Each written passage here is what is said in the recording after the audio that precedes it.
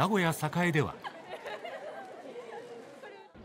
午後5時前のオアシス21ですが仮装した多くの若者でにぎわっています。ハロウィンの聖地オアシス21には昨日夕方から仮装に身を包んだ多くの人が。豚と牛、豚と牛ですごいですね。すごいもう勢いがもうすげえマジ。ハロウィンみたいな。えぐい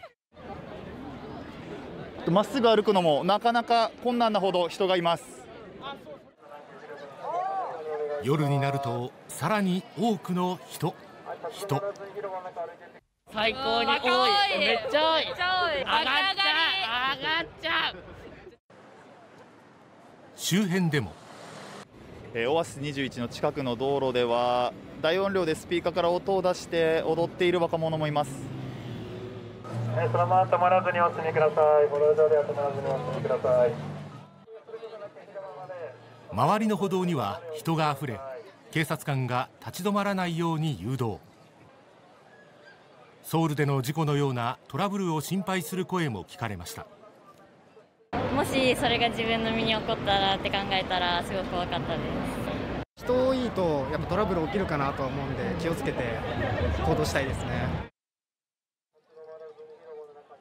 前日でこれだけ大勢の人が訪れた栄のオアシス21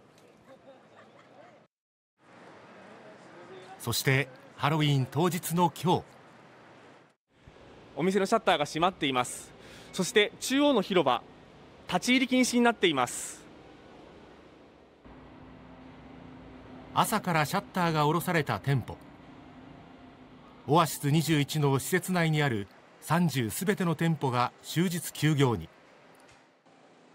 また地下の銀河の広場では柵を設置。